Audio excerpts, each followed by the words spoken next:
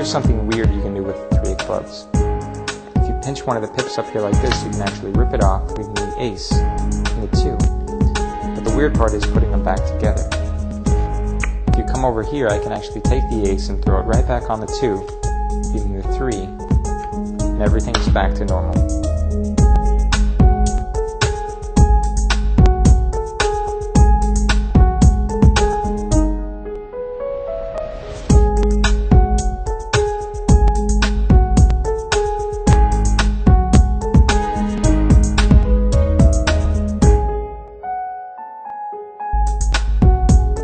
So the Jones change, this is what it looks like. You can take a card, the six of clubs, and just like that, it changes. And that's it. It's the Jones change.